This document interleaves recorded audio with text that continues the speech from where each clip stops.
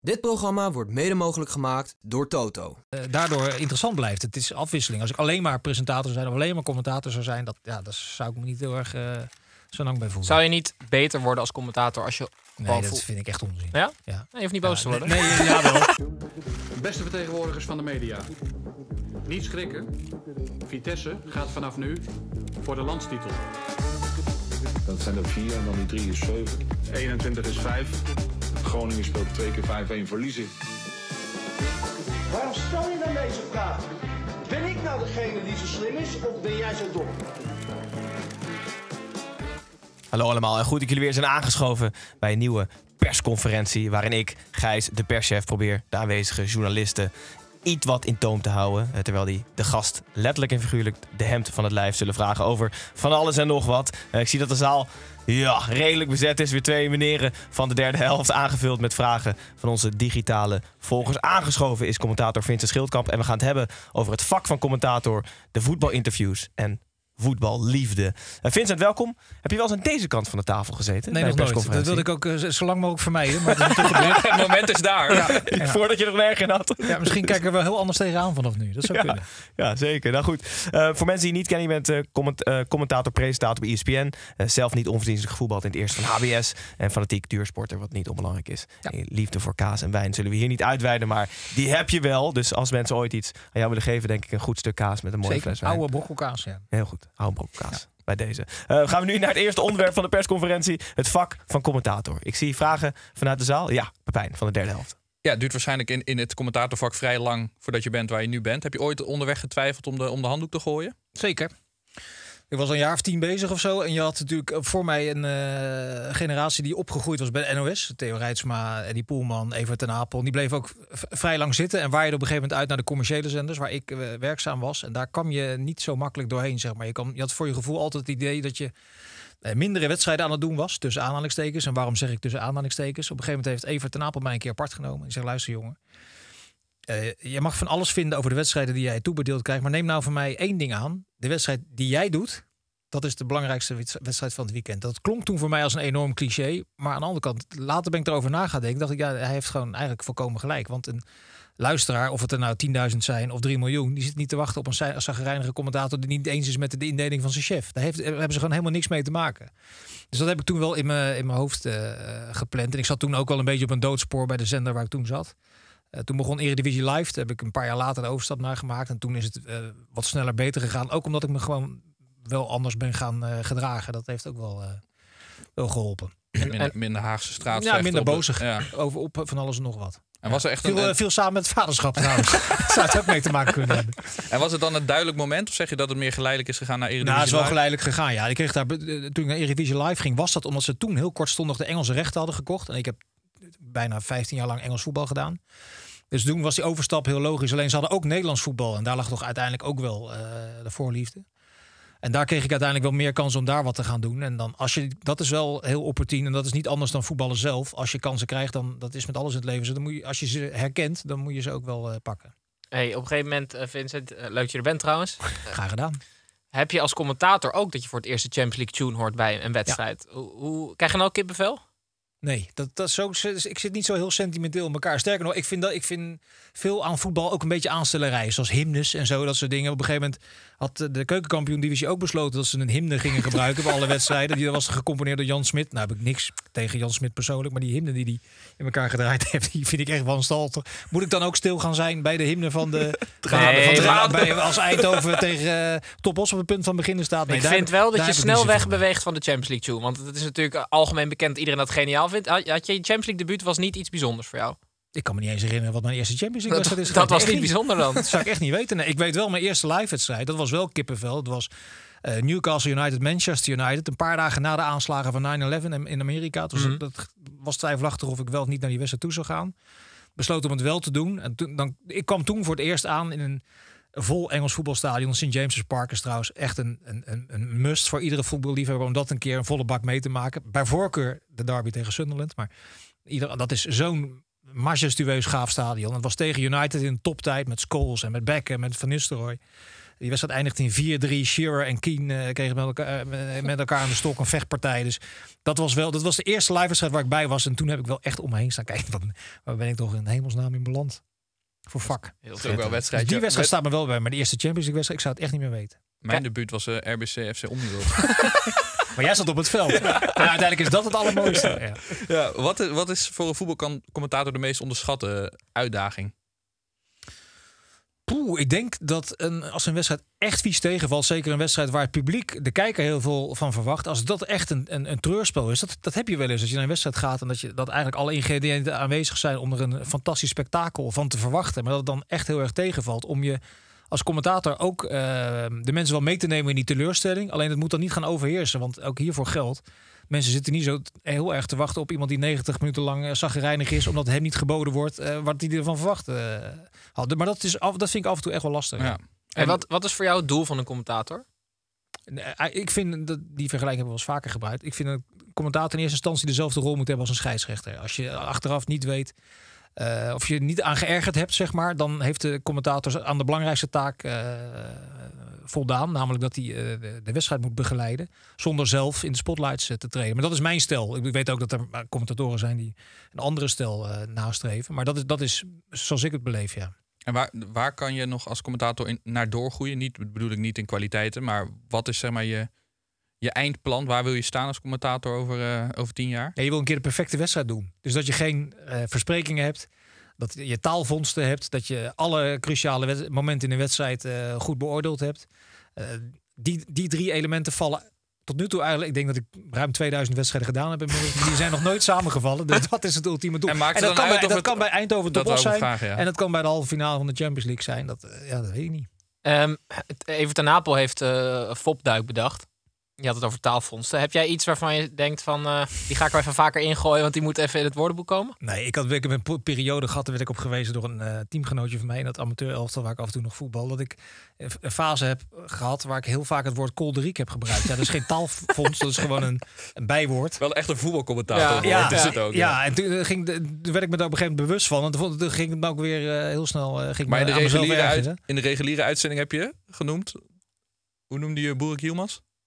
Eh, eh, Maserati naar Volkswagen. Ja, precies. Ja, ja, ja. Ja. Het is Oké, alleen wel moeilijk om in elke wedstrijd erin te fietsen.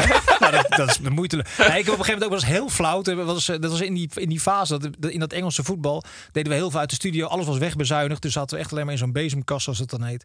Commentaar te geven. Zat ik me te vervelen bij Sunderland tegen, eh, weet ik veel, Leeds United. En dan was er een elftalgenootje van mij uit datzelfde amateur elftal. Die dan een woord doorstuurde wat ik moest Ja, gebruiken. ja, ja, ja. En dat is een klassieke commentatorenval waar je eigenlijk nooit die moet trappen. Maar ja, als je je verveelt, ga je gekke dingen doen. Op een gegeven moment kwam je met het woord lambrisering. Hoe fiets ik dat de vredesnaam in? Dat Was, nou, weet ik het weer. Dat was bij United tegen Everton.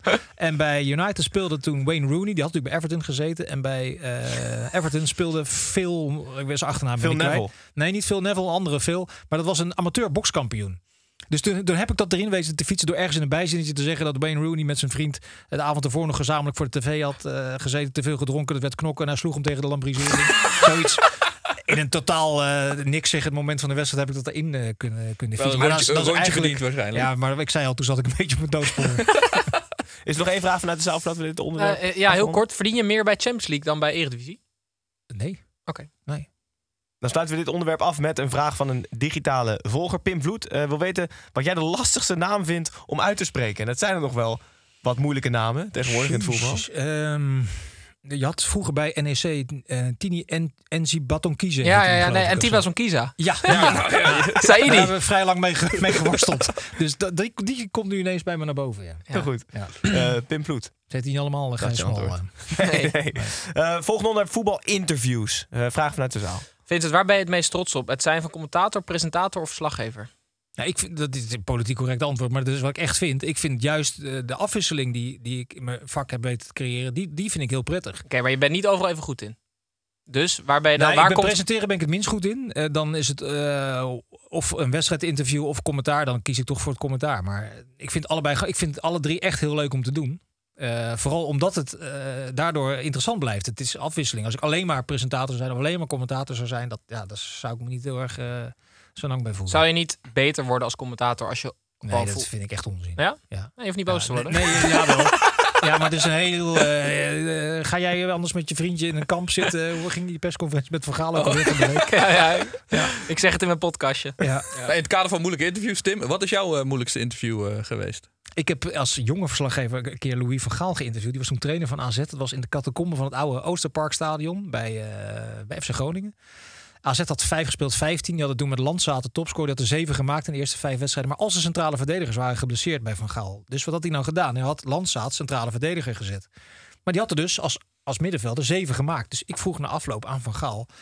En misschien niet zo'n hele handige eerste vraag. Dat was 1-1 geworden. Is het experiment Danny Landzaat als centrale verdediger mislukt? Suggestief. Jij moet je huiswerk doen. Landzaat is in de B-jeugd bij Ajax eh, twee jaar centrale verdediger. Ik dacht alleen maar, ja, joh, je gaat toch niet iemand die er zeven ingeschoten heeft eh, op zijn favoriete positie weghalen.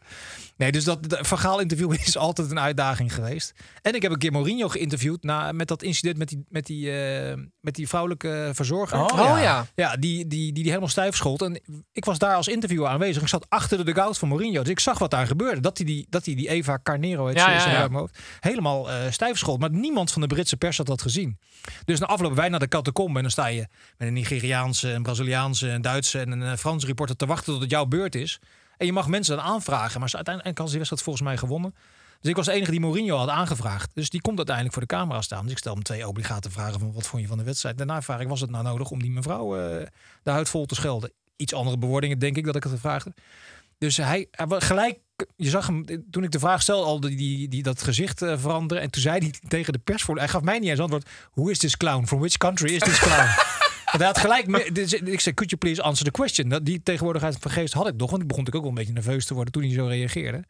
En die, en die Engelse collega's die daarachter stonden, die zagen dat. Dus daarna is het een enorme rel geworden. Want in er eerste instantie was Ja. dat niet echt opgepikt Oh. dat hij eh, dat die, die, die, eh, die verzorger zo eh Wat fantastisch, had genomen. Heb je, heb je vrienden in de voetballerij, die voetballers, trainers? Arnold Brugging is een van mijn beste vrienden. Heb je moeite ooit gehad om hem dan te interviewen? Nee, jij hebt eh, eerste divisie niet eh, gespeeld, toch? Vrij lang? Ja, nou niet vrij lang. Ja, mijn allerbeste vriend is Roel Buikema. Die heeft jarenlang bij MVV, Excelsior, Den Bosch, VVV, dat soort clubs heeft hij gespeeld. 15 jaar lang. Dus onvermijdelijk moest ik hem een keer interviewen na een wedstrijd van MVV.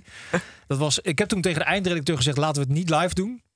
En dat was een goed voorgevoel, want ik stelde hem één vraag. Hij begon te lachen, ik begon te lachen. Zijn moeder stond erachter, die begon te lachen. Zijn zus stond aan de andere kant van de kamer. Dus dat werd, dat werd een kansloos interview. Daar zijn we gelijk mee gestopt. Nee, nee. Dus, maar dat is echt, dat, is dan, dat was mijn allerbeste vriend. Is mijn allerbeste vriend. Dus. Mooi. sluit het onderwerp af met een vraag eh, van onze digitale journaliste Jesper Ros. Wil weten of jij beter Leo Alkemade's werk kan doen of Leo Alkemade beter jouw werk. Ik vermoed dat Leo Alkmaar er beter mijn werk kan doen. ja. Nee, ik heb heel weinig acteertalent. Dat moet je maar aan eh, mijn vrouw vragen. Diepgaande, diepgaande vragen hier. Waar was jij gisteren? Ja. Ja. In de kroeg? Bij de jongens van de podcast. Ja, ja. Tot tien uur, oké. Laatste onderwerp. eh, voetballiefde. Vragen uit de zaal. Eh, profvoetbal of amateurvoetbal? Je moet kiezen. Amateurvoetbal. Ja, klasse zeg. Ja. Ik had al zo'n vermoeden. En ook als je alleen daar commentaar mag geven? Ik heb, het, ik heb het voor Radio West een aantal jaar gedaan. Was die zaterdag. eh, Dat was toen nog voordat de KNVB die hele amateurcyclus om zeep hield. Met al die divisieindelingen die ieder jaar weer veranderen. Toen had je de zaterdag hoofdklas in de Bollenstreek. Met Lisse, Quick Boys, Katwijk, eh, Noordwijk, Rijnsburgse Boys. Dat was iedere week een derby. Er was iedere week 4000 man langs de lijn. Daar ben ik begonnen en dat was echt wel de charme van het amateurvoetbal. Dorp tegen dorp. Iedere week weer. eh, Met alles erop en eraan. Gekke wedstrijden, knokpartijen. De hele, alles wat erbij kwam kijken. Dat was wel echt een, echt een goede leerschool is dat geweest. Maar ja. eh, het, ja, dus jouw werk is heel leuk, maar volgens mij is de wereld waarin je werkt is de afgelopen decennia veel minder leuk geworden. Ja, ja, zo ervaar ik het eerlijk gezegd niet zo. Het hangt wel van allerlei rituelen eh, aan elkaar en, en, en, en ook wel heel veel clichés. En als die, eh, die eh, A doet, dan doet de, de andere partij automatisch B. Nee, dan wat er bij Fortuna aan de hand is. Daar is een spits eh, binnengekomen die eigenlijk veel groter is dan de club. Dat weet, dat weet eigenlijk iedereen. Die had, weet ik uit betrouwbare bron, de tweede training ruzie met de assistenttrainer. Die had na de, de, de tweede uitwedstrijd ruzie met een iemand an- anders van de technische staf. Heeft uit zijn eigen zak eh 1000 euro premie beloofd toen het allemaal niet zo lekker liep bij Fortuna. Dat is allemaal bekend, dat weet iedereen. Vervolgens eh, geeft Borak Yilmaz bij ons afgelopen week een interview waarin hij eh, zo'n beetje alles ontkent en zegt dat het allemaal niet zo is. En vervolgens zegt iedereen bij Fortuna zit het. Zie je nou wel, er is niks aan de hand. Dat zijn allemaal rituelen. Er gebeurt iets, er is ophef. Iemand geeft een interview om het allemaal te ba- bagatelliseren en iedereen gaat weer verder. En iedereen vindt dat volkomen normaal. Ja, maar Jij, jij kan er nog ergens de charme of zo van inzien. Want jij noemt het rituelen en zo. Maar ik zou echt, ik zou echt kotsmisselijk worden van al die voetbalinterviews ook moeten doen. Ja, soms is dat ook wel zo, ja. Er komt natuurlijk heel veel... eh, alleen de, dat is, vind ik wel de kunst van... Dat zou de kunst moeten zijn van interview. Proberen toch te doorbreken. Het lukt lang niet altijd. Soms kom je er wel doorheen. Ja. En eh, ja, heel, heel vaak niet. Dat is, dat is inderdaad wel wat je van tevoren moet realiseren. Maar je moet dat, dat, dat ontslaat je niet van de plicht om het te proberen. En uiteindelijk gaat het wel om een mooi spelletje. Zo is het ook. Zo, om even op mijn volgende vraag. eh, Over clichés gesproken. Sowieso. er mag één speler terug, eh, terug worden geroepen uit zijn voetbalpensioen. Ja. Wie is het? Rivaldo. Waar gaat hij spelen? HBS. Hangend op links. Ik erachter. Schitterend. Ja, dan gaan we het Rivaldo, nog één ja. keer uitleggen. Opnieuw. Ja, nee, Rivaldo was echt een van mijn favorieten. Dat vond ik zo'n... Met alles wat erbij kon kijken. Die lag natuurlijk ook om de havenklappen. Lag hij ondersteboven te rollen alsof hij was neergeschoten vanaf de tribune. Het beroemde voorbeeld was dat, dat Die WK. corner, toch? Bij die corner. Bij die, Ja, ja, ja. Tegen dat Turkije. Ja, ja, ja, ja. zijn knieën en Ja. hij begreep naar zijn oor en zijn kin. en Weet ik wat er allemaal aan de hand was. Nee, maar dit was zo'n goede voetballer. Die omhaal, waarbij- van, die omhaal van 25 meter Ja. die hij maakte ooit. Ja. Ja, Van Gaal ging op een andere positie neerzetten. En toen had hij er eh, gelijkmaling aan. Maar wat vond je zo goed aan hem? Hij was net voor Ah, mijn het, tijd. het, het, onvoors- het onvoorspelbare. Dat, hebben natuurlijk veel Braziliaanse spelers gehad. Maar hij had helemaal geen Braziliaans postuur. Hij Nee. was vrij groot. Hij kon ook heel behoorlijk koppen. Maar hij, die jongen was ja, een soort slangenmens eigenlijk. Echt prachtige voetballer om naar te kijken. ja. Ehm, je mag nog maar één shirt dragen, Vincent. En het is een voetbalshirt. Welke, welke zou het zijn? Ja, wat denk je?